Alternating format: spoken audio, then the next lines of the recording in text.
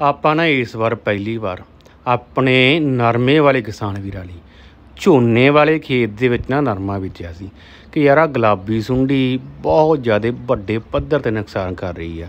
ਤੇ ਪਿਛਲੀ ਵਾਰ ਤਾਂ ਨਾ ਆਪਣੇ ਕਿਸਾਨ ਵੀਰਾਂ ਨੇ ਗੁਲਾਬੀ ਸੁੰਡੀ ਤੇ ਕੰਟਰੋਲ ਕਰ ਲਿਆ ਸੀਗਾ। ਪਰ ਇੰਨਾ ਸਪਰੇਹਾਂ ਕਰਕੇ ਨਾ ਜਿਹੜੀ ਆਪਾਂ ਗੁਲਾਬੀ ਸੁੰਡੀ ਨੂੰ ਮਾਰ ਲਈ ਕਰਦੇ ਸੀਗੇ, ਉਹਦੇ ਕਰਕੇ ਆਪਣੇ ਨਰਮੇ ਨੇ ਬਿਲਕੁਲ ਵੀ ਝਾੜ ਨਹੀਂ ਦਿੱਤਾ।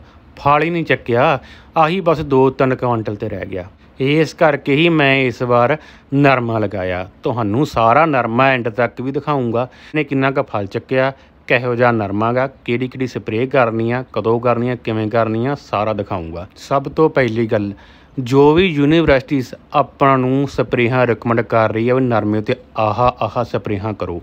ਮੈਂ ਉਹਨਾਂ ਦੇ ਵਿੱਚੋਂ ਇੱਕ ਵੀ ਨਹੀਂ ਕਰ ਰਿਹਾ, ਕਿਉਂਕਿ ਮੈਨੂੰ ਪਤਾ, ਜੇਕਰ ਉਹ ਯੂਜ਼ ਕਰਾਂਗੇ ਤਾਂ ਆਪਣਾ ਝਾੜ ਘਟੂਗਾ।